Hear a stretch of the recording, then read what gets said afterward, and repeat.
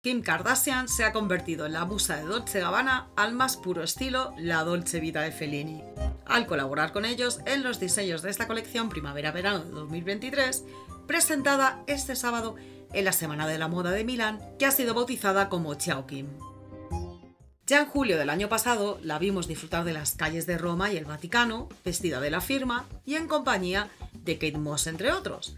Y unos meses antes de estas imágenes, la familia empezó a tener sus guiños con los diseñadores, por lo que se olía colaboración, pero no a este nivel. Eso no lo debimos venir, al menos yo vamos. Imagino que esto ocupará un capítulo del reality como poco, si no dos.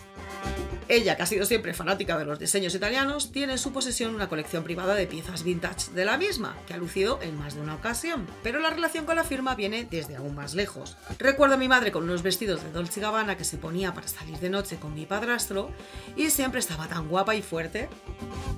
Pero no queda ahí, también tiene dos perros que se llaman Dolce Gabbana. Además, en su etapa de dependienta vendía vestidos de la firma y en alguna ocasión llegó a gastarse el sueldo en alguna pieza. Pero el verdadero acercamiento entre Kim y los diseñadores vino a raíz del mono con cristales inspirado en su colección de los 90 que le hicieron a ella para el concierto de Celine Dion en 2019. Y también vimos hace nada cómo la familia vistió al completo de ellos en Portofino para la pasada boda de su hermana Courtney. Y a raíz de ahí, los diseñadores pensaron en hacer algo juntos, cuando vieron que Kim vestía cada noche diseños que ni tenían ellos en archivo. Así que les vino a la cabeza la idea de mostrar sus colecciones de archivo a la Kardashian y que ella se encargara de rescatar los que viera. Y eligió entre 1987 y 2007, justo antes de The Keeping Up with the Kardashians, pero versionado en esta era. Así que lo que se ha podido ver en la pasarela de Milán han sido 85 diseños con inspiración en ambas décadas, pero un poco más urbanizados.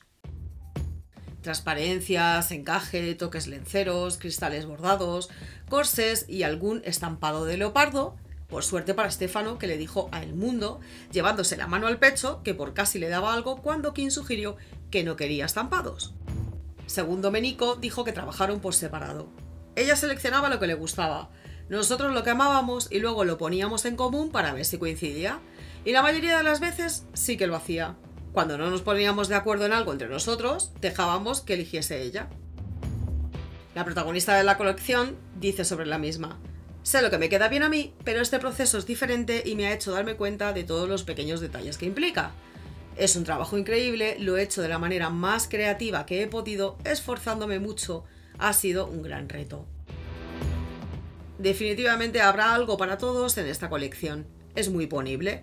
Lo único en lo que siento que tengo confianza es en encontrar algo que pueda parecer intimidante, como un vestido de cristal. Pero si lo simplificas, más personas pueden sentirse cómodas usándolo y creo que realmente lo logramos. Hay piezas que se adaptan a todos los diferentes tipos de cuerpo.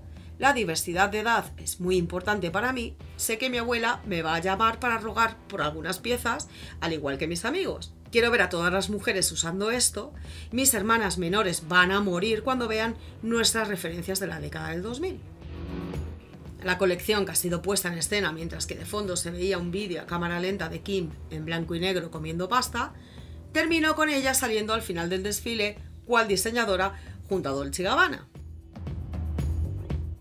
Así que parece ser que una vez más en el mundo de la moda se repite eso de inspirarse en décadas pasadas y que eres mejores representantes del inicio del 2000 que la propia Kim Kardashian y Paris Hilton, que ella en esta ocasión sí que ha desfilado como broche final para la colección de primavera-verano del 2023 para Versace, luciendo este vestido de novia en color rosa tropical, cubierto por una malla de cristales de Swarovski con acabados de encaje de gradé haciendo referencia al estilo Barbiecore que nadie mejor que ella puede representar. El rosa de principios de milenio ha vuelto y su moda también. Van dando pinceladas yendo acompañadas de los 90. El velo que lució la DJ se trata de una reedición del que llevó Madonna durante la campaña primavera-verano de Atelier Versace en 1995, en la sesión para Mario Testino.